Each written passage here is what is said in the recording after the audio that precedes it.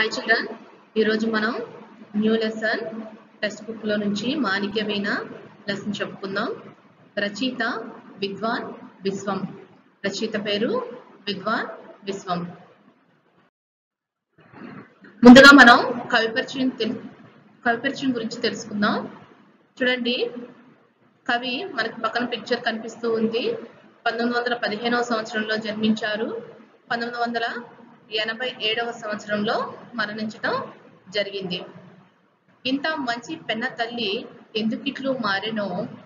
ఇంతమంది కన్న తల్లి ఎందుకెండిపోయేనో అని ఆవేదనతో పెన్నేటి పాటను సృజించిన మానవీయ కవి విద్వాన్ విశ్వం.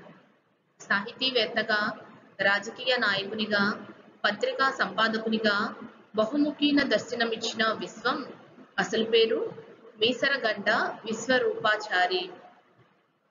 అనంతపురం జిల్లా తరిమెల గ్రామంలో లక్ష్మమ్మ రామయ్య దంపతులకు జన్మించారు విశ్వం. చూడండి మన రచయిత పేరు విద్వాన్ విశ్వాన్ అని మనం చెప్పుకున్నాము. అలానే అతను ఒక చిన్న కవిత లాంటిది రాశారు చూడండి. ఇంత మంచి పెన్న తల్లి ఎందుకు ఇట్లు మారేనో? ఇంత మంది కన్న తల్లి ఎందుకు ఎండిపోయేనో అంటే ఇక్కడ పెన్నా నది గురించి అతను తెలియజేయడం జరిగింది. ఇంత మంచి పెన్న తల్లి ఎందుకు ఇట్లు మారినాయి? ఎందుకు ఈ విధంగా అయిపోయింది?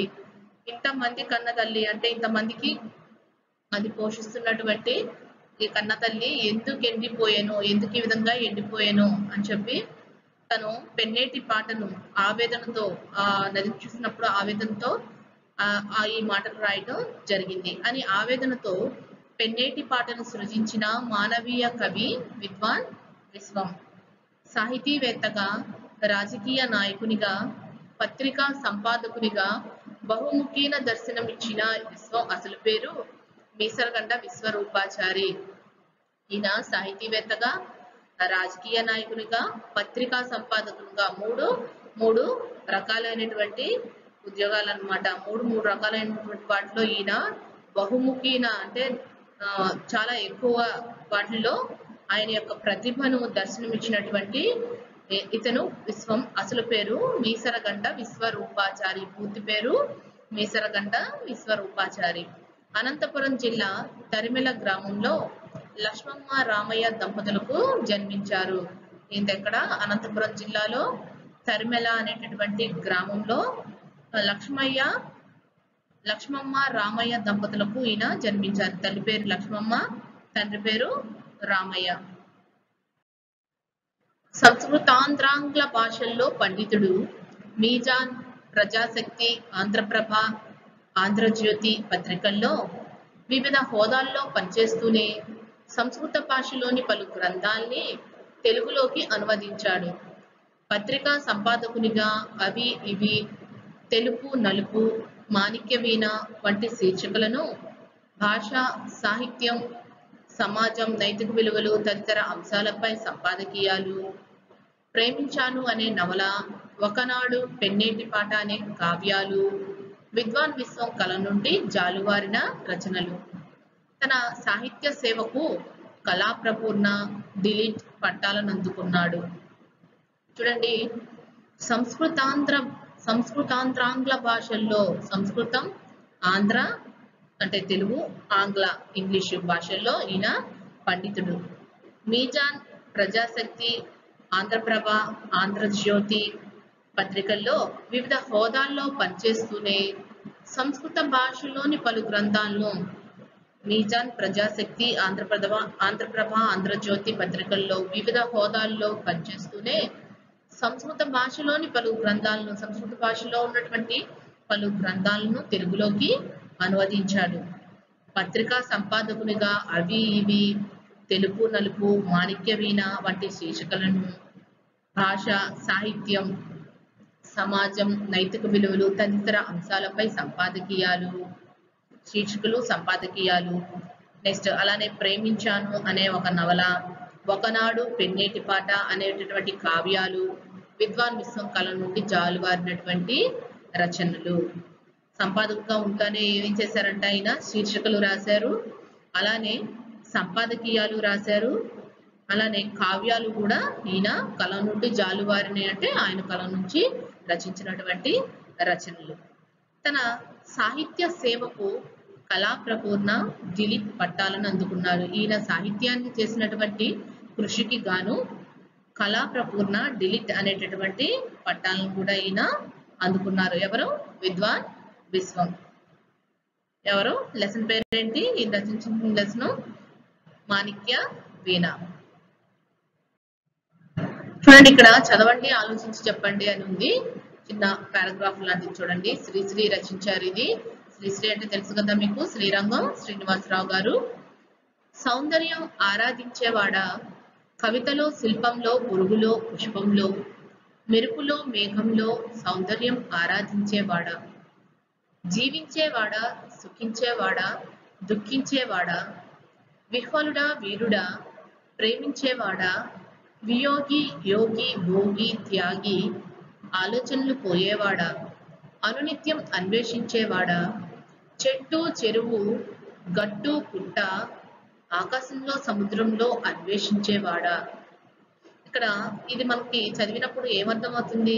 ఎవరి గురించో ఇదంతా కూడా చెప్తున్నట్లు మనకి ఒక అవగాహన అనేటటువంటిది కలుగుతుంది. అది ఎవరు అనేటటువంటిది మనం తెలుసుకుందాం. సౌందర్యం ఆరాధించేవాడా? సౌందర్యాన్ని ఆరాధించేవాడా? అందాన్ని సౌందర్యాన్ని ఆరాధించేవాడా? కవితలో శిల్పంలో పురుగులో పుష్పంలో కవితలో కానివ్వండి శిల్పంలో కానివ్వండి పురుగులో కానివ్వండి పుష్పంలో మెరుపులో మేఘంలో సౌందర్యం ఆరాధించేవాడా? చాలా మంది కూడా కవులు కవయిత్రులు వీళ్ళందరూ కూడా ప్రతి దాంట్లో నుంచి కూడా వాళ్ళు ఏ వస్తువుని చూసినా ఈ దేన్ని చూసినా ప్రకృతిని చూసినా ఒక కొండను చూసినా పర్వతాన్ని చూసినా కూడా ఏదో ఒక కవిత దే ఏ వస్తువుని చూసినా కూడా వాళ్ళు ఏదో ఒక రచన గాని కవిత గాని రాస్తూ ఉంటారు. అలానే కవితలో శిల్పంలో పురుగులో పుష్పంలో మెరుపులో మేఘంలో సౌందర్యం ఆరాధించేవాడా? సౌందర్యాన్ని ఆరాధించేవాడా? జీవించేవాడా? అందులో జీవించేవాడా? సుఖించేవాడా? ఆ సౌందర్యంలోనే సుఖించేవాడా? దుఃఖించేవాడా? విహ్వలుడా వీరుడా? ప్రేమించేవాడా? ఆ సౌందర్యాన్ని ప్రేమించేవాడా? వియోగి యోగి భోగి త్యాగి ఆలోచనలు పోయేవాడా? యోగి వియోగి భోగి అన్ని అనుభవించేవాడు. త్యాగి దాన్ని త్యాగం చేసేవాడు ఆలోచనలు పోయేవాడా ఇవన్నీ కూడా ఆలోచనలు కలిగి ఉండేటటువంటి వాడా? అనునిత్యం అన్వేషించేవాడా? అనునిత్యం ప్రతిదీ కూడా ప్రతి వస్తువును కూడా అన్వేషించటం ప్రకృతిని అన్వేషించటం సముద్రాన్ని అన్వేషి అన్నిటిని అన్వేషించేవాడా? కనుక్కోవటం ఏముంది? ఏం జరుగుతుంది అని అన్వేషించేవాడా? చెట్టు చెరువు గట్టు పుట్ట ఆకాశంలో సముద్రంలో అన్వేషించేవాడా? ప్రతిదీ చెట్టు చెరువు గట్టు గుట్ట ఆకాశం సముద్రం ప్రతి దానిలో కూడా అన్వేషించేవాడా అని ఇక్కడ తెలియజేది ఇవన్నీ ఎవరు చేస్తున్న అన్వేషించేవాడా అంటే ఎవరిక్కడ? ఒక మనిషి మానవుడు. ఒక మానవుడు ఇవన్నీ కూడా చేయగలడు. సౌందర్యాన్ని ఆరాధిస్తాడు. కవిత కవితలో శిల్పంలో పురుగులో ప్రతి దాంట్లో కూడా సౌందర్యాన్ని ఆరాధిస్తాడు అని చెప్తున్నారు. అలానే అందులోనే జీవిస్తాడు సుఖిస్తాడు దుఃఖిస్తాడు. అలానే యోగి భోగి త్యాగి వియోగి ఆలోచనలు పోయేవాడా? అనునిత్య అనునిత్యం అన్వేషించేవాడా? ప్రతి దాంట్లో కూడా చెట్టు చెరువు గట్టు పుట్ట ఆకాశం సముద్రంలో ప్రతిదీ కూడా అన్వేషించేవాడా అని చెప్పేసి మనకి ఇక్కడ శ్రీశ్రీ దీని ద్వారా మనకి తెలియజేస్తూ ఉన్నారు. చూడండి ఈ ముందు చదువుకున్నటువంటి పారాగ్రాఫ్ నుంచి కొన్ని క్వశ్చన్స్ అడగటం జరిగింది. మీరు హెచ్డబ్ల్యూలో లో రాయండి. ఈ కవిత ఎవరిని గురించి తెలుపుతుంది? మనం చెప్పుకున్నాం ఇప్పుడే ఎవరి గురించి తెలుపుతుంది అనేటటువంటిది. లేదంటే పారాగ్రాఫ్ మళ్ళీ ఒక టూ టైమ్స్ చదవండి. ఆన్సర్స్ మీకు తెలుస్తాయి హోంవర్క్లో రాయండి. కవితలో పేర్కొన్న మానవుని ప్రత్యేక లక్షణాలు ఏమిటి? మానవుడు ఏ ఏ ప్రత్యేక లక్షణాలని కలిగి ఉన్నాడు? మానవుణ్ణి ఎన్ని కోణాల్లో ఈ కవితలో దర్శించవచ్చు? మానవుని మనం ఎన్ని కోణాల్లో ఈ కవితలో మనం చూడవచ్చు? మానవునికి వివిధ లక్షణాలు ఎలా సంక్రమించి ఉండవచ్చు? మానవునికి ఈ వివిధ లక్షణాలు అనేటటువంటివి ఎలా సంక్రమించినవి? ఏ విధంగా సంక్రమించినవి? మీ దృష్టిలో మానవుడు ఎలాంటి వాడు మీ దృష్టిలో మానవుడు అంటే అసలు ఎలాంటి వాడు దేనికోసం అన్వేషిస్తున్నాడు? ఏం చేస్తున్నాడు? ఈ five question and answers five questions కూడా ఆన్సర్స్ రాయండి. నెక్స్ట్ పాఠ్యాంశ నేపథ్యం ఉద్దేశం పాఠ్యాంశ నేపథ్యం ఏంటి అసలు ఉద్దేశం ఏంటి మనం అసలు ఎందుకు తెలుసుకోవాలి? ఏంటి? దేని గురించి పాఠ్యాంశం తెలియజేస్తుంది. ఆంధ్రప్రభ వారపత్రికలో విద్వాన్ విశ్వం మాణిక్య వీణ శీర్షికన వ్యాసాలు కవితలు రచించారు. మనం ఆల్రెడీ కవి పరిచయం తెలుసుకునేటప్పుడే మనం వ్యాసాలు కవితలు రాశారని తెలుసుకున్నాం కదా. ఈయన ఆంధ్రప్రభ వారపత్రిక వారపత్రిక వారానికి ఒకసారి వచ్చేటటువంటి వారపత్రికలో విద్వాన్ విశ్వం గారు మాణిక్య వీణ శీర్షికన వ్యాసాలు కవితలు రచించారంట. మాణిక్య వీణలో వీరు స్వీకరించని అంశం లేదని చెప్పవచ్చు మానవ జీవన ప్రస్థానంతో కళ కవిత్వం పెనవేసుకున్నాయని మనిషి నిరంతర జ్ఞానాన్వేషి అని ఈ కవిత తెలుపుతుంది. మాణిక్య వీణను వీచి మానవీయ రాగాల్ని పలికించిన ఈ కవిత చారిత్రక ఘట్టాల్ని తరచి చూపి మనిషి శాశ్వతత్వాన్ని తెలుపుతుంది. చూడండి ఈయన విద్వాంస్ విద్వాన్ విశ్వం గారు ఆంధ్రప్రభ వారపత్రికలో మాణిక్యవీణ శీర్షికన వ్యాసాలు కవితలు రచించారని చెప్పుకున్నాం కదా. మాణిక్యవీణలో వీరు స్వీకరించని అంశం లేదని చెప్పవచ్చు. అంటే ప్రతి అంశం మీద కూడా ఈయన వ్యాసాలు కవితలు రాయడం జరిగిందనమాట. మానవ జీవన ప్రస్థానంతో కళ కవిత్వం పెనవేసుకున్నాయి. ఎవరితో కళ కవిత్వం అనేటటువంటి పెనవేసుకుని ఉన్నాయంట? మానవ జీవితంతో జీవన శైలితోటి కళలు కవిత్వాలు అనేటటువంటివి అవి కూడా ఒక భాగం అని చెప్తున్నారు. మనిషి నిరంతర జ్ఞానాన్వేషి మనిషి నిరంతరం కూడా జ్ఞానాన్ని అన్వేషిస్తూ ఉంటాడు. చూడండి మరి ఒకప్పుడు బ్లాక్ అండ్ వైట్ టీవీలు ఉండేవి చిన్నవి పార్టబుల్ టీవీలు ఉండేవి. మరి ఇప్పుడైతే కలర్ కలర్ఫుల్గా పెద్ద టీవీలు వచ్చేసేసినాయి ఎల్సిడీలు వచ్చినాయి ఎల్ఈడీలు వచ్చేసినాయి ఇవన్నీ కూడా ఇప్పుడు మనకి రావడం జరుగుతుంది. అంటే మానవుడు నిరంతరం కూడా అన్వేషిస్తూ ఉన్నాడు. కొత్తవి కనుక్కోవాలి కొత్త కొత్త జ్ఞానాన్ని సంపాదించుకోవాలి కొత్త వస్తువులు కనిపెట్టాలి అనేటటువంటి దాని గురించి మానవుడు నిత్యం కూడా అన్వేషిస్తూ ఉన్నాడు అని ఈ కవిత మనకి తెలుపుతూ ఉంటుంది.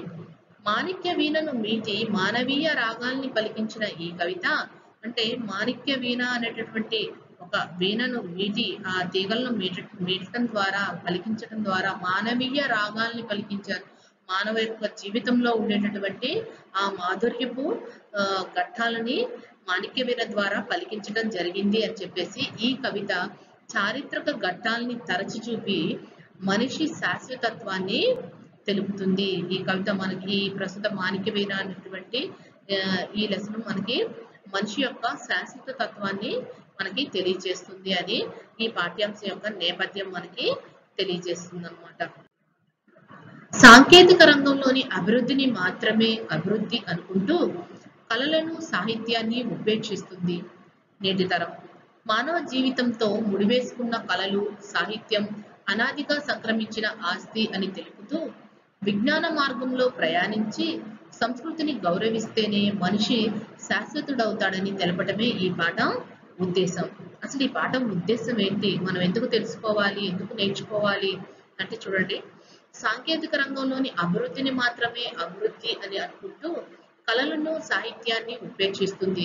సాంకేతిక రంగంలో అభివృద్ధి ఒక అభివృద్ధి అనుకుంటూ కళలు సాహిత్యం అనే దాన్ని ఇప్పుడు మానవుడు ఉపేక్షిస్తూ ఉన్నారు. అంటే వాటన్నిటిని కూడా వదిలివేస్తూ ఉంటున్నారు నేటి తరం. ఈ తరం ఇప్పుడు ఉన్నటువంటి ప్రజెంట్ జరుగుతున్నటువంటి తరం. మానవ జీవితంతో ముడివేసుకున్న కళలు సాహిత్యం అనాదిగా సంక్రమించిన ఆస్తి అని తెలుపుతూ మానవ జీవితంతో ఈ ముడివేసుకున్నటువంటి ఈ కళలు సాహిత్యం అనేటటువంటివి అనాదిగా ఎప్పటి నుంచో మనకి సంక్రమించినటువంటి ఆస్తి అని మనకి ఇక్కడ విద్వాన్ విశ్వం గారు తెలియచేస్తూ ఉన్నారు. విజ్ఞాన మార్గంలో ప్రయాణించి సంస్కృతిని గౌరవిస్తేనే మనిషి శాశ్వతుడవుతాడని తెలపటమే ఈ పాఠం యొక్క ముఖ్య ఉద్దేశం. విజ్ఞాన మార్గంలో ప్రయాణించి విజ్ఞానం కూడా ఉండాలి అన్ని తెలుసుకోవాలి. ఇప్పుడు మారుతున్నటువంటి సమాజంలో సాంకేతిక రంగంలో మనం కూడా మారాలి. దానితో పాటుగా సంస్కృతిని మనం ముందు నుంచి అభిమానిస్తున్నటువంటి కళలు సాహిత్యాలని అటువంటి సంస్కృతిని కూడా మనం గౌరవించాలి. గౌరవిస్తేనే మనిషి శాశ్వతవుతాడు అలాగా ఆ వాటన్నిటిని కూడా అటువంటి సంస్కృతిని మనం గౌరవిస్తేనే మనిషి అనేటటువంటి వాడు శాశ్వతంగా ఉంటాడు అని తెలియచెప్పడమే ఈ పాఠం యొక్క ఒక ముఖ్యమైనటువంటి ఉద్దేశం. పాఠ్యభాగ వివరాలు పాఠ్యభాగ వివరాలు చూడండి ఏం చెప్తున్నారో. ఈ పాఠ్యభాగం వచన కవిత అనే సాహిత్య ప్రక్రియ పద్య గేయాల్లో ఉండే ఛందస్సుతో సంబంధం లేకుండా వ్యవహారిక భాషలో రాసే కవితను వచన కవిత అంటున్నాం. చిన్న చిన్న పదాలు వాక్యాలతో ధ్వనిగర్భితంగా ఉండే కవిత వచన కవిత. ఈ పాఠం విద్వాన్ విశ్వం రచనా సంపుటిలోనిది. చూడండి ఈ పాఠ్యభాగ వివరాల్లో ఇది వ్యవహారిక భాషలో వచన కవిత వచన కవిత ఉంటాయి. గే ఒక్కొక్క లెసన్ ఒక్కొక్క విధంగా ఉంటుంది. వచన కవిత గేయ కవిత ఆ వ్యాసము వ్యాస రూపంలో ఉంటే వ్యాసము అది వ్యవహారిక భాషలో ఉందా గ్రాంధిక భాషలో ఉందా ఇవన్నీ కూడా స్టేట్ బ్లాక్ వాళ్ళకైతే ఇది టూ మార్క్స్ క్వశ్చన్లో కూడా అడగటం జరుగుతుంది. చూడండి ఈ పాఠ్యభాగం వచ్చిన కవిత అనే సాహిత్య ప్రక్రియ పద్య గేయాల్లో ఉండే ఛందస్సుతో సంబంధం లేకుండా ఎలాగంట ఛందస్సుతో సంబంధం అనేటటువంటిది లేకుండా ఉంటుంది అంటే ఇందులో ఛందస్సు ఉండదని తెలియజేస్తున్నారు. వ్యవహారిక భాషలో రాసే కవితను వచన కవిత అంటున్నాం. వచన కవిత అంటే ఏంటి? ఛందస్సుతో సంబంధం లేకుండా వ్యవహారిక భాషలో రాసే కవితను వచన కవిత అని అంటున్నాం. చిన్న చిన్న పదాలు వాక్యాలతో ధ్వని గర్భితంగా ఉండే కవిత చిన్న చిన్న పదాలు వాక్యాలతో ధ్వని గర్భితంగా అంటే శబ్దాన్ని గర్భితంగా చేస్తూ ఉండేటటువంటి కవితే వచన కవిత. ఈ పాఠం విద్వాన్ విశ్వం రచనా సంపుటిలోనిది. ఏ పాఠం ప్రస్తుతం మనం చెప్పుకోబోతున్నటువంటి మారిక్య వీణ అనేటటువంటి పాట విద్వాన్ విశ్వం రచనా సంపుటిలో నుంచి దీన్ని మనం తీసుకోవటం జరిగింది.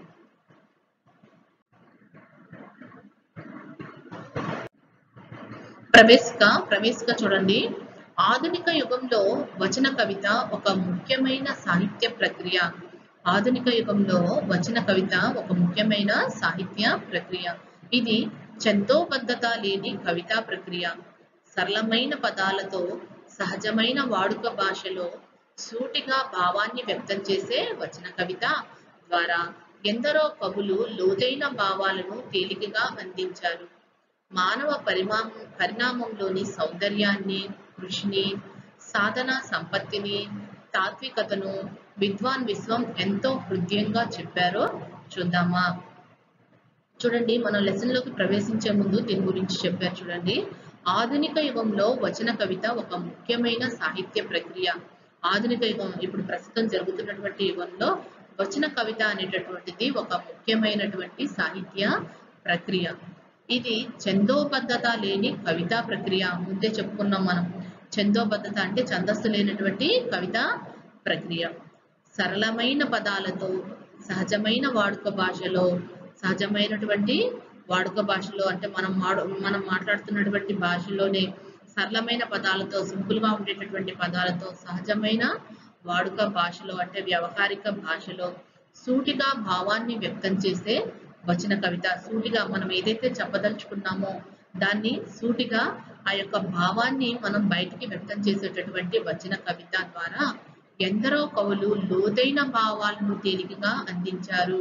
అంటే ఒక సెంటెన్స్లోనే వాళ్ళు ఎంతో లోతైనటువంటి ఎంతో దీర్ఘమైనటువంటి భావాలను వాళ్ళు ఒక చిన్న ఆ ఒక లైన్ ద్వారానే వచన కవిత ద్వారా ఎంతో మంది కవులు లోతైన భావాలను సరళమైన పదాలతోటి సహజమైన వాడుక భాషతో మనకి చాలా మనం అర్థం చేసుకునే విధంగా చాలా తేలికగా మనకి అందించడం జరిగింది. దేని ద్వారా? ఈ వచన కవిత అనేటటువంటి దాని ద్వారా.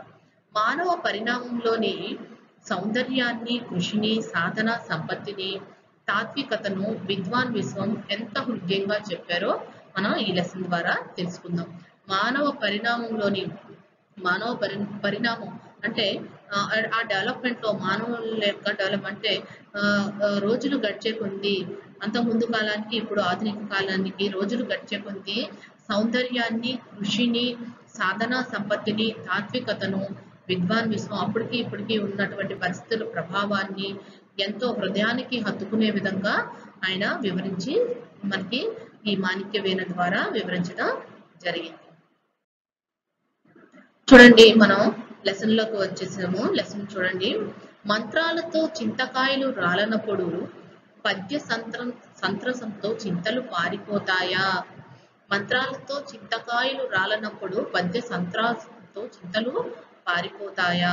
మంత్రాలతో చింతకాయలు రాలనప్పుడు మంత్రాలు మంత్రాలు పెడితే చింత చెట్టుకున్నటువంటి చింతకాయలు రాలుతాయా? కిందన పడతాయా? రాలవు. ఏదో కర్ర తీసుకొనో లేదంటే రాయి తీసుకొనో కొడితేనే చింతకాయలు అనేటటువంటివి కిందకు రాలుతాయి. మనం చింత చెట్టు కింద నుంచొని మంత్రాలు చదువుతూ ఉంటే చింత చెట్టు నుండి కాయలు కింద పడతాయా? పడవు. అలానే పద్య సంత్రసంతో చింతలు పారిపోతాయా? పద్యం యొక్క ధాటికి చింతలు అంటే బాధలు. చింతలు అనేటటువంటివి పారిపోతాయి. మనం ఎంత పద్యాలు ఎన్ని గేయాలు వాటిని వాటి యొక్క ధాటికి అంటే వాటిని అలాగ మనం చెప్పుకుంటూ చదువుకుంటూ పోతే అందులో నీతి ఉంటుంది. పద్యాల్లో చాలా నీతి ఉంటుంది. వాటిని ఆచరిస్తేనే మనకు ఉన్నటువంటి చింతలు బాధలు అనేటటువంటి పోతాయే కానీ పద్యం యొక్క ధాటికి వాటిని మనం కేవలం చదివినంత మాత్రాన మనకు ఉన్నటువంటి బాధలు అవి పోవు అని తెలియజేస్తున్నారు. మంత్రాలతో చింతకాయలు రాలనప్పుడు మంత్రాలు వేస్తే చింతకాయలు రాలుతాయి అని అనుకోవడం ఎంత ఇదో మంత్రాలతో చింతకాయలు రాలినప్పుడు పద్య సంత్రాసంతో చింతలు పారిపోతాయా? పద్యం యొక్క ధాటికి చింతలు బాధలు అనేటటువంటివి పారిపోతాయా? యంత్రాలతో జబ్బులు నయం కానప్పుడు తంత్రాలతో సమాజ రుగ్మతలు దారికి వస్తాయా? చూడండి యంత్రాలతో జబ్బులు నయం కానప్పుడు యంత్రాలతో జబ్బులు నయం కానప్పుడు యంత్రాలు. ఇవి ఈ రోజుల్లో మరి ప్రతి ఒక్క జబ్బుకు కూడా ఎన్నెన్నో మెషిన్స్ వచ్చేసేసి ప్రతి దానికి కూడా చిన్న చిన్న జబ్బుకు కూడా ఆపరేషన్ అనేసి వాటిని విత్ ఇన్ వాటిని జబ్బుల్ని నయం చేయడం అనేటటువంటిది జరుగుతుంది ఆపరేషన్స్ ద్వారా. అలానే యంత్రాలతో జబ్బులు నయం కానప్పుడు ఎంత చేసినా కూడా మనం మనిషి ప్రాణం అనేటటువంటి దాన్ని మనం నిలబెట్టడం అనేటటువంటిది జరగదు. అది తాత్కాలికమే. కొన్ని రోజులే కొన్ని రోజులు మాత్రమే మనం వాటిని చేయగలం. యంత్రాలతో జబ్బులు నయం కానప్పుడు తంత్రాలతో సమాజ రుగ్మతలు దారికి వస్తాయా? తంత్రాలు అంటే ఇక్కడ ఒట్టి మాటలు మాయ మాటలు. మాయ మాటలతో సమాజ రుగ్మతలు సమాజంలో ఉన్నటువంటి ఈ బాధలు ఈ రుగ్మత అంటే ఒక విధంగా జబ్బులు అని వస్తాయి అనమాట సమాజంలో జబ్బులు ఏముంటాయి?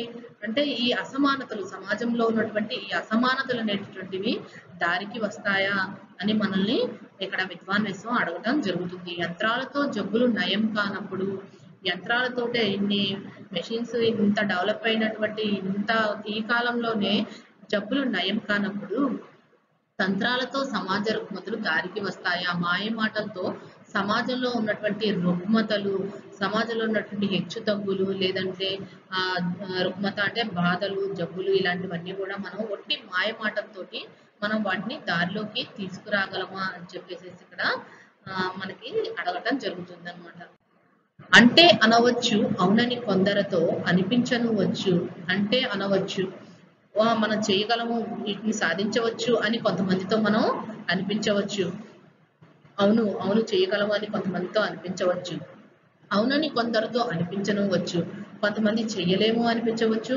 కొంతమందిని అవును చేయగలము అని కూడా మనం ఈ సమాజంలో ఉన్నటువంటి మనుషులతోటి అనిపించను వచ్చు పొట్టలోని పుట్టకురుపుతో సంఘం కట్టెదుట కలవల్ల పడిపోతుంటే నిట్ట నిలువున రోదశ్రీలోనికి కట్టలు కట్టుకొని దూసుకొని పోయి కట్టుకొని పోయేదేమిటని? పొట్టలోని పుట్టకురుపుతో ఏం చెప్తున్నారు ఇక్కడ? పొట్టలోని పుట్టకురుపుతో సంఘం కట్టెదుట కలవలపడిపోతూ ఉంటే పొట్టలోని పుట్టకురుపుతో పొట్టలోని పుట్ట పుట్టకురుపు అని ఏంటి ఇక్కడ? బాధలు పొట్టలో ఉన్నటువంటి రకరకాలైనటువంటి జబ్బులతో సంఘం కట్టెదుట కలవలిపడిపోతూ ఉంటే సమాజం అంతా కూడా నాశనం అయిపోతూ ఉంటే నిట్ట నిలువున రోదసీలోకి నిట్ట నిలువున రోదసీలోకి కట్టలు కట్టుకొని దూసుకుని పోయి కట్టుకొని పోయేది ఏమిటి? నిట్ట నిలువున రోదసీలోకి అంతరిక్షంలోకి నిట్ట నిలువున వెళ్ళిపోతూ ఉన్నాము. అక్కడ కనిపెట్టడానికి అక్కడ అన్ని కూడా పరిశోధనలు చేయటానికి కట్టకు కట్టలు కట్టుకొని దూసుకొని పోయి అలాగా రోదసిలోకి అంతరిక్షంలోకి మనం ఎన్నెన్నో ర్యాకెట్లను అవన్నీ కూడా మనం పంపిస్తూ ఉన్నాం. అక్కడికి వెళ్ళి మనం కనిపెట్టేది ఏంటి? కట్టుకొని పోయి ఇక్కడ ప్రస్తుతం సమాజంలో ఎంతో మంది రకరకాల జబ్బులతోటి రకరకాల ప్రాబ్లమ్స్ తోటి ఈ సమాజంలో ఎంతో మంది పీడి పీడిస్తూ వాటి యొక్క బాధలు బాధలు పడుతూ ఉంటే మనం ఎక్కడో ఉన్నటువంటి అంతరిక్షంలోకి పోయి అక్కడ కనిపెట్టి మనం చేసేది ఏముంది?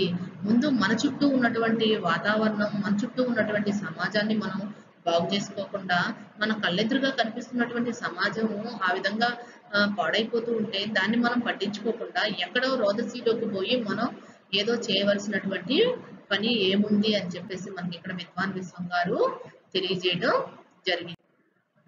చూడండి ఆలోచించండి చెప్పండి. ఇప్పటి వరకు మనం తెలుసుకున్నటువంటి దాని మీద కొన్ని ఇక్కడ క్వశ్చన్స్ ఇవ్వడం జరిగింది. ఈ కవితలో ప్రాస పదాలు ఉన్నాయి. ప్రాస ప్రాస అంటే ఏంటి? Rhyming rhyming words. రెండు ప్రొనౌన్సియేషన్ ఒకే విధంగా పలికేటటువంటి పదాలు. ఈ కవితలో ప్రాస పదాలు ఉన్నాయి. అవేంటో మీరు హెచ్డబ్ల్యూలో రాయండి. అంటే అనవచ్చు అవునని కొందరితో అనిపించను వచ్చు అనే వాక్యాల ద్వారా మీరేమి గ్రహించారు? అంటే అనవచ్చు. అంటే ఇప్పుడు మనం ముందుగా లెసన్లో చెప్పుకున్నట్లుగానే చింత చెట్టు కింద కూర్చొని మనం మంత్రాలు చదువుతూ ఉంటే చింతకాయలు రాలవు. అలాగా అలాగా అవునని అందరితో కొందరితో అనిపించవచ్చు. కాదు అని కూడా మనం అనిపించనవచ్చు ఈ వాక్యాల ద్వారా మీరేమి గ్రహించారు? సమాజ రుగ్మతలు అంటే ఏమిటి? సమాజ రుగ్మత రుగ్మత అంటే చెప్పాను. రుగ్మత అంటే బాధలని సమాజ రుగ్మతలు సమాజంలో జరుగుతున్నటువంటి బాధలు అంటే ఏమిటి?